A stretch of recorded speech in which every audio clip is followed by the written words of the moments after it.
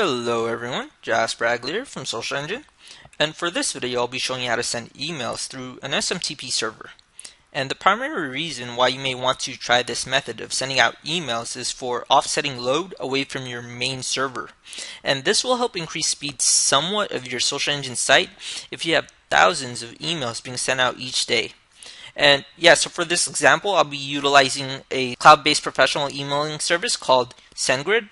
And yeah, just know that you don't have to use SendGrid. There are numerous companies out there that provide similar services. But we here at Social Engine utilize SendGrid because we found their service to be quite excellent. Anyways, to get started, go to your Social Engine admin panel and under the settings, choose Mail Settings. And then scroll down until you see the Send Through SMTP section.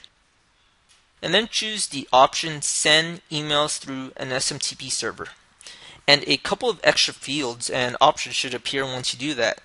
So now you simply need to get the information from your emailing service platform. First, you'll, you will need the SMTP server address. So if you've signed up for SendGrid and have already logged into their dashboard, simply click on Developers and now just copy the SMTP server information they provide you and paste it into the SMTP server address field. And then you can skip the SMTP server port field. 25 should be the default unless your client says otherwise. And in the SMTP authentication option, choose yes. And then two fields should appear asking for your SMTP username and password. So for these fields, you simply need to input the login information of your account.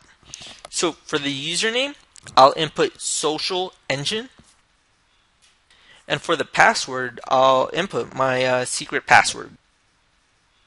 And yeah, for the final field, use SSL or TLS. You can just skip that. I would I would just say no because it's really not required unless your email client says otherwise. And just click Save Changes.